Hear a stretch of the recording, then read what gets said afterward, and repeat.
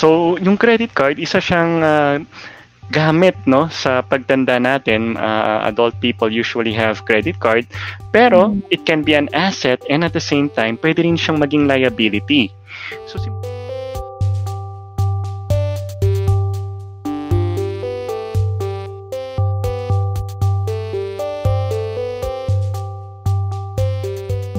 So, hello everyone. Hello. Uh, So, kumusta kayo? So, welcome to another episode here at Wealth RD. So, kasama ko ulit yung bagong junior financial planner namin, si Marion. So, hi Marion, kamusta?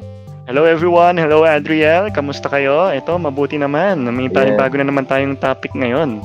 Oh, so I'm also doing well. So, for this week, guys, we'll be discussing credit card basics and of course, how do you make your credit card work for you? Um, so previously we discussed yung mga credit card security tips and of course yung ano mga tips then on how to use your credit card pero wala pa tayong video no on the credit card basics and how do you use your credit card effectively. So ngayon di-discuss natin 'yan.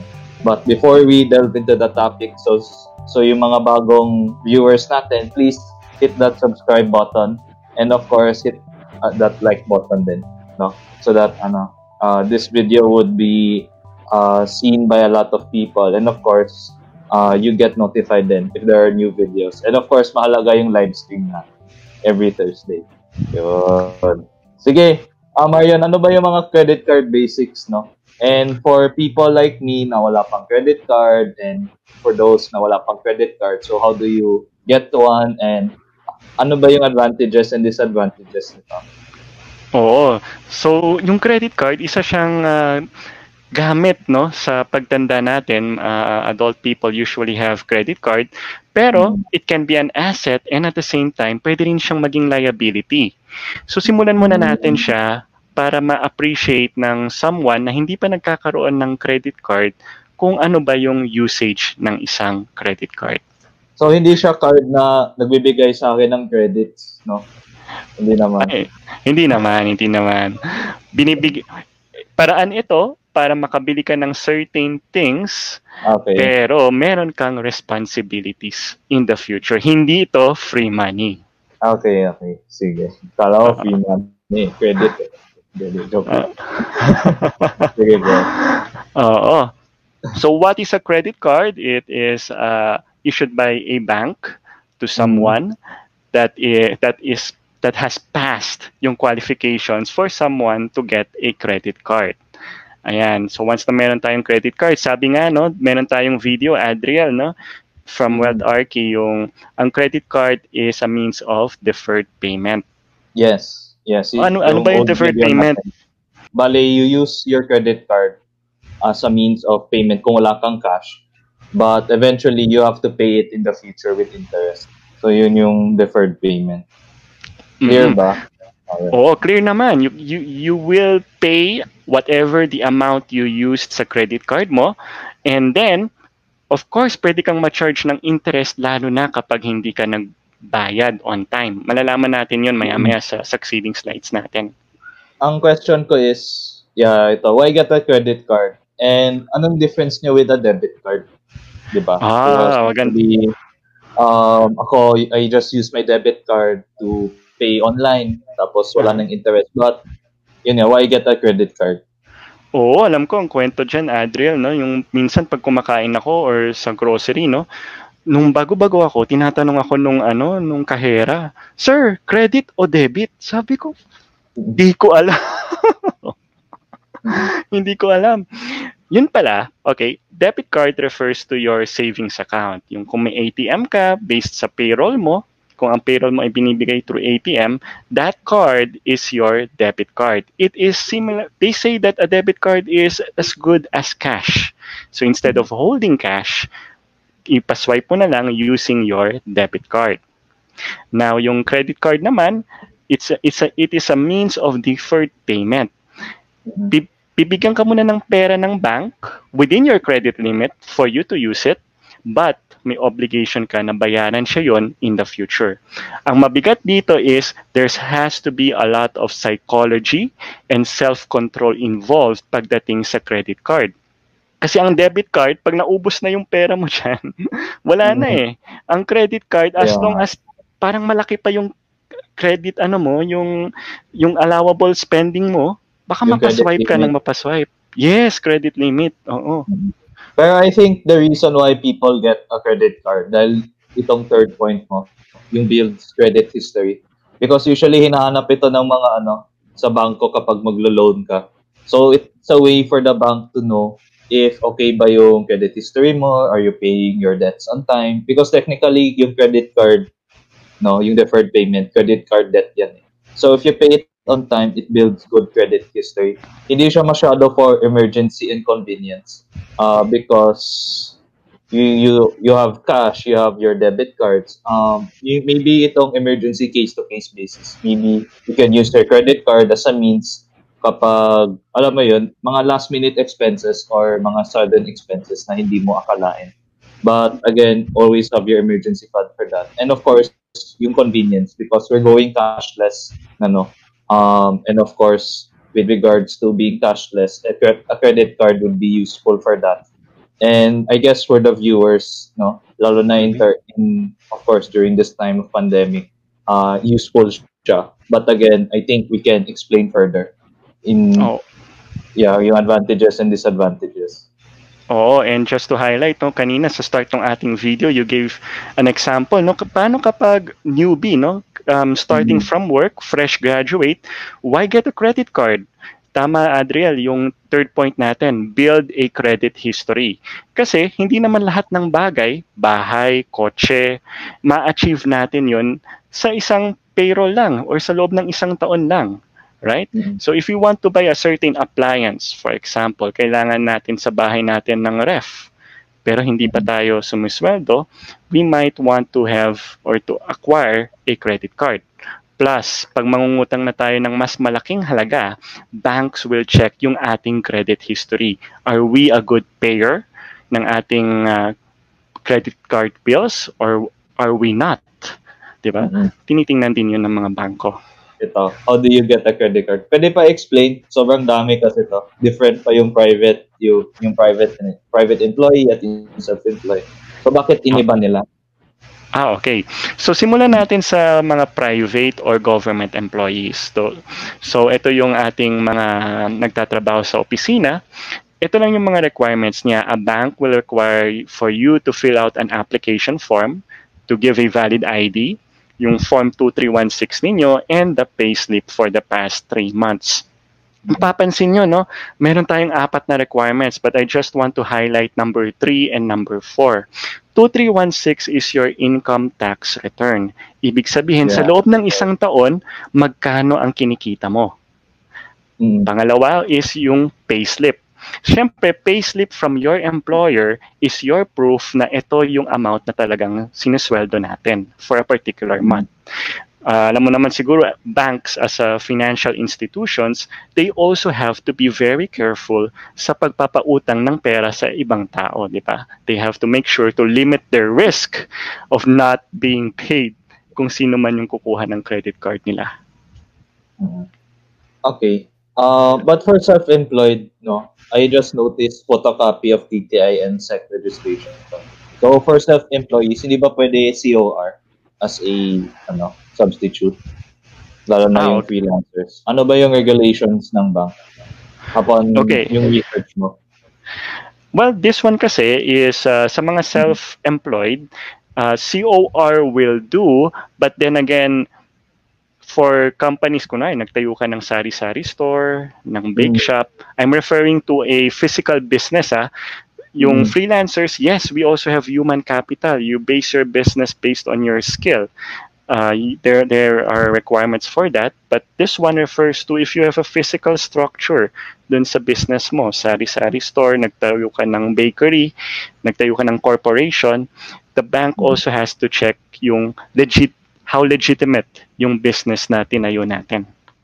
Um, I guess check with the bank kung ano yung regulations because self-employed can also mean yung mga insurance agents natin or investment agents natin in different investment firms. So I guess you can check out in your bank, either BPI, BDO, East West, etc. To know kung ano yung details regarding uh, kung photocopy of CO, COR or kailangan ba ng, alam mo yun, copy ng contract nyo with the with your partner company. So, mm. just clarify na lang with the bank. No? So, these are oh. just general tips siguro. Yes. Oh, and by the way, no, yung pagkuha ng credit card, uh, well, generally, they have to visit their banks. Pero, mm-hmm. kapag meron ka ng credit history, dito na pumapasok minsan yung may tumatawag sa phone, yung mm-hmm. aalokin ka ng credit card. Perhaps kasi mm-hmm. meron ka ng existing bank account at malaki na yung mm-hmm. bank account mo for that particular bank. And because isa rin sa quota ng mga banks is to get people to have credit cards from that particular bank. Kaya minsan nag-marketing din sila, tatawag sila, alokin ka ng credit card. Mm, okay. So, yung audited financial statements, I guess, accounting na yan, right? And then BAR form quarterly RTR. So for self-employees or of course self-businesses, important to because you want the banks want to know how liquid you are. And are they willing to give you that you know that credit card? Baka kasi bibigay sila ng credit card pero baon ka naman sa utang or hindi ka naman mm-hmm. financial stable. So they might not uh, give you that that card or they might withhold withhold your credit card application. Oo, totoo yan. Kasi madaling magsabi na for a self-employed or for an employee, I'm earning 50,000 pesos a year. Pero yun pala, nagsisinungaling lang ako. So banks also have to check certain documents to prove na ito nga ang kinikita mo per month or per year dito, how to, ito na yung part na how to we make our credit card work for you. Nasabi na nga natin kanina, a credit card can be an asset and can be a liability. Meron ka bang narinig na kwento, Adriel, ng mga clients mo na na-challenge sa pagkakaroon ng credit card? Dito na lang tayo. Ang uh, marami kasing clients na ano, having credit card bill problems. So, So how do you make your credit card work for you? So tama nga si Marion, watch your psychology. So don't be complacent and don't be over-dependent. Yung problem kasi sa atin, no, nagagawang secondary bank account yung credit card. But we have to know that every credit card has a certain interest rate, eh, interest rate, interest rate, interest rate. Um, so that accumulates fast and that accumulates monthly. So tumataas, tumataas yung credit card debt natin habang hindi natin binabayad.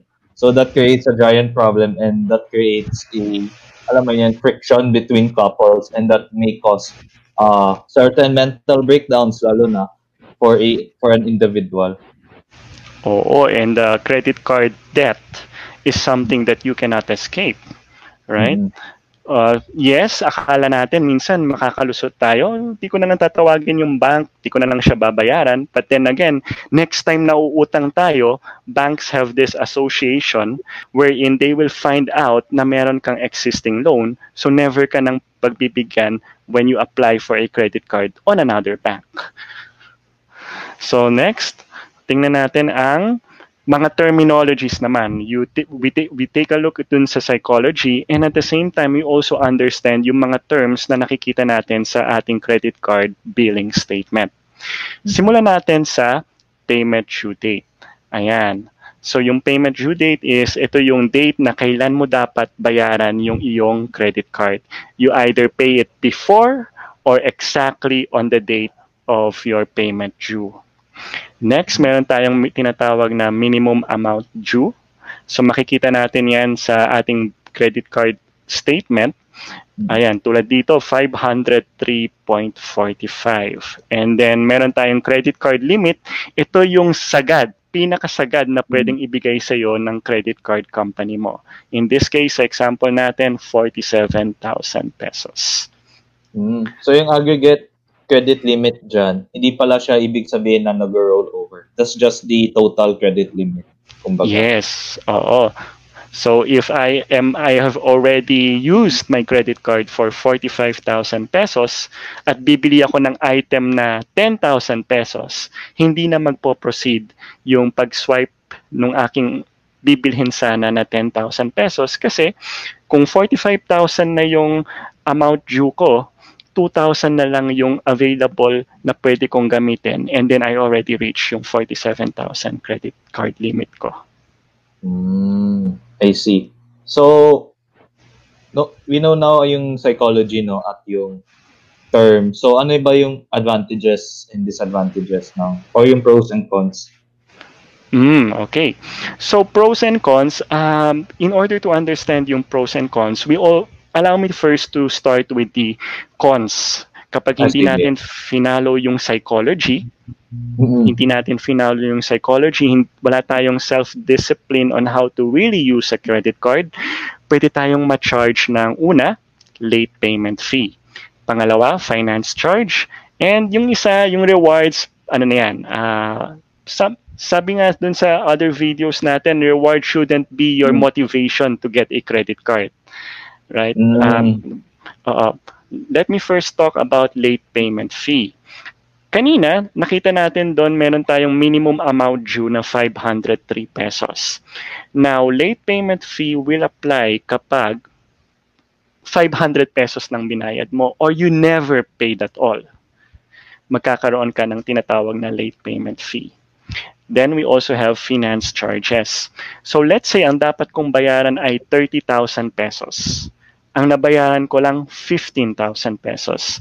Finance charges will apply dun sa balanse, yung hindi ko binayaran. Ayun, yun ang Okay. yun ang mga pwedeng ah, madagdag Ba- sa hindi lang sa principal mo, madadagdagan yung Yeah, yeah, principal mo. Ito na yung magiging interest. So, additional pa, right? mm And uh, we go to rewards. Dun sa rewards naman, again, this is not your motivation to get a credit card, but if you pay well, you pay on Mhm. time, you pay in full, you get to enjoy rewards. Oo. Yeah. Um, Um, regarding rewards, no.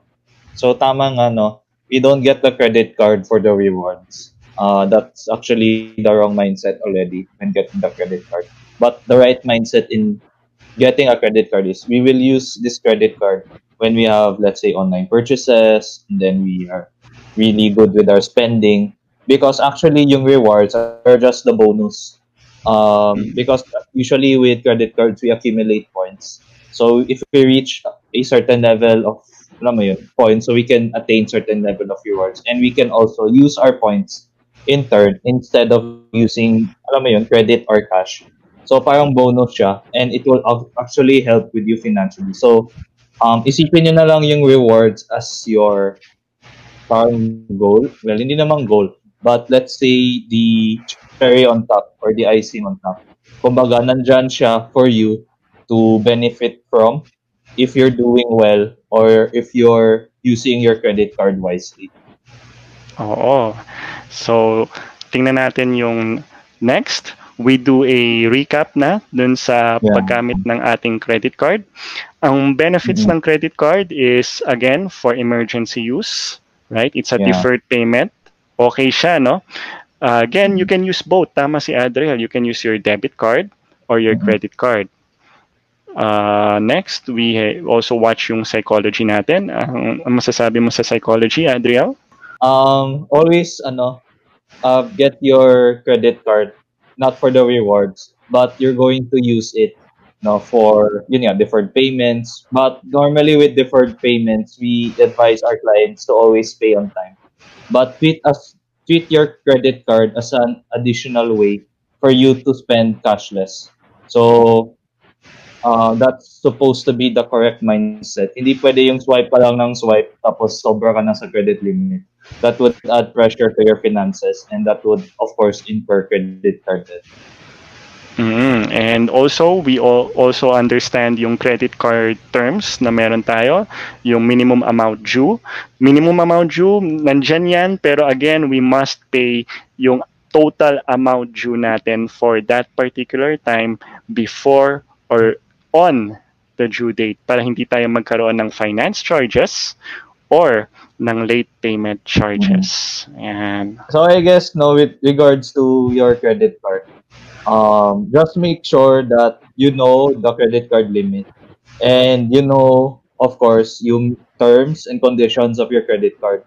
because per bank has its own terms and conditions. Uh, actually, we have clients na bumibili na maraming credit card pero hindi nila alam ano yung terms and conditions per card. So when oh. it comes to paying now your credit card dues, so nahihirapan sila which ones to pay. So pang nagde-delay-delay siya up to the point na alam mo yun, sobrang laki na, hindi na ma-manage and it puts pressure on the, alam mo yun, relationship sa family. And of course, mm. yung personal finance din.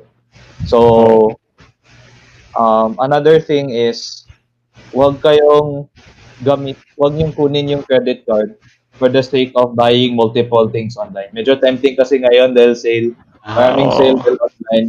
So, wag kayong, wag yung gamitin yung credit card, no, as a means to, alam mo yun, spend as much as you want. May downside din yan. No? The credit card is makes it easy to buy things online.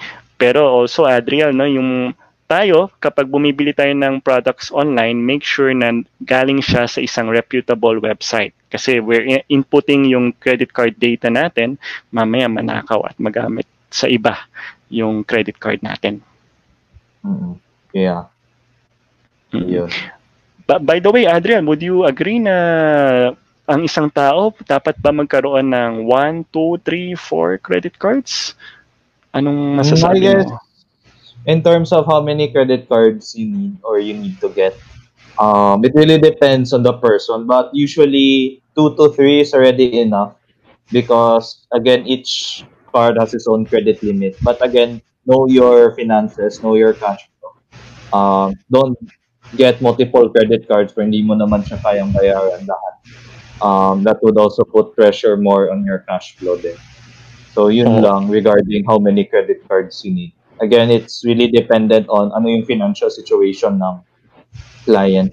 Um, may clients kasi na lima yung credit card pero ano, lima din yung ginagamit niya at all times. Oh so, no! Alam mo yun, alam mo yun nag-accumulate lang yung debt across the across all credit cards. Tapos kailangan natin medyo toxic na. So kailangan alamin kung which credit card bill yung pinakamababa. Tapos we work on that. Tapos from smallest to biggest. Ano. So I guess maybe we can have hmm. a different discussion on how to pay off your credit card debt or yung tinatawag natin debt consolidation and payment no, in a future video. Parting words, Marion? Any last thoughts and words? Mm-hmm. Parting, parting words natin is credit card is something that you can use okay, to buy certain things within the credit limit. And sa mga fresh grads dito, nagsisimula pa lang mag-work, yes, you can get a credit card to build on your credit history. But then again, meron tong responsibility para sa atin to use the credit card within only the credit limit and to buy only the things that we need. Yan. Yun. Yun, I guess na-summarize na ni Marion yung kailangan kong sabihin. so, ayun. So, thank you guys for listening. Uh, I hope you learned something new today about credit cards.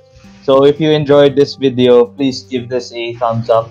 And if you haven't subscribed yet, please subscribe. You know, there's a button below to subscribe.